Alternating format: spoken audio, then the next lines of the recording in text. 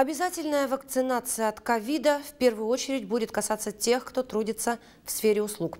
Необходимо привить около 270 тысяч человек, об этом сегодня заявил министр здравоохранения Новосибирской области Константин Хальзов.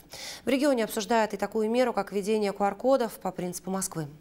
Многие из вас наверняка смотрели э, и совещание у президента правительства, там тоже обсуждался вопрос о том, что э, это сегодня действенный метод как привлечения и к вакцинации, так и в плане профилактики распространения коронавирусной инфекции. Поэтому мы также прорабатываем вопрос сегодня э, введения QR-кодов на территории Новосибирской области при посещении массовых мероприятий.